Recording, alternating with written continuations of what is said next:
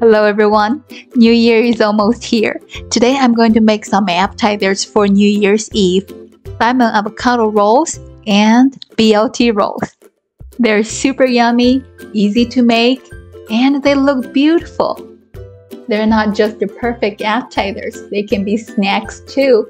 Every time when I make them, they never last long. Alright, let's start making.